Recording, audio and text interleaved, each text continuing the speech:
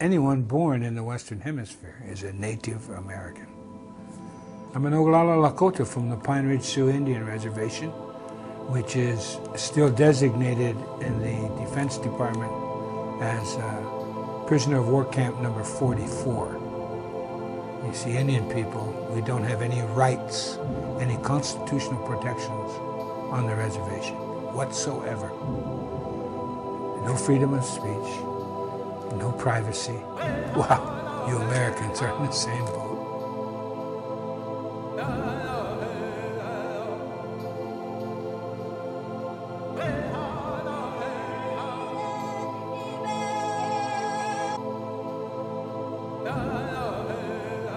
thing in America is that we don't exist in the 20th century.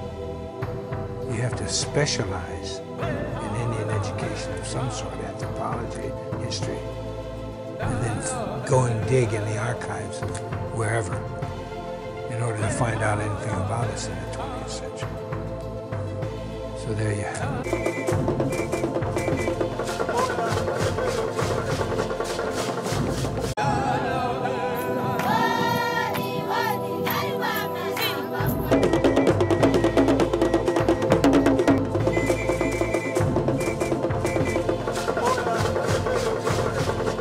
Has happened is now America, because of the irresponsibility of your forebears and the irresponsibility of yourselves, you are now on one huge Indian reservation.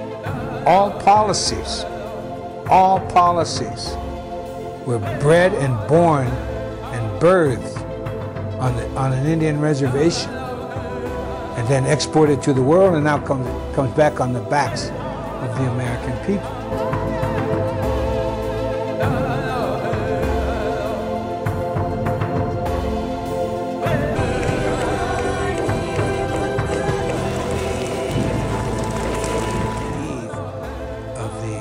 200 year anniversary of uh, the Constitution. It was a unanimous thank you by the Congress of the United States. They sent in writing to the Six Nations Iroquois Confederacy, thanking them for their input into the Constitution and the formation of the United States of America. So you see, the Constitution is Indian law, and that's why I love it. The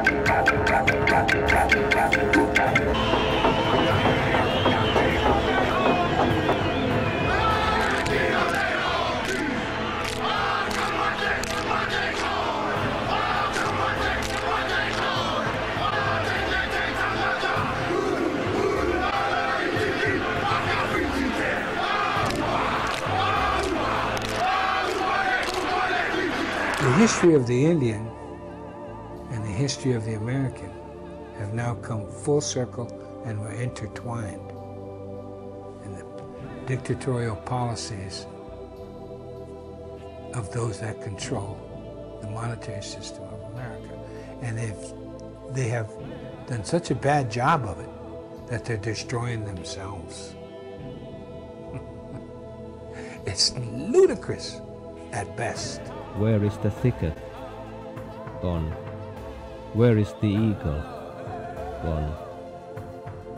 The end of living and the beginning of survival.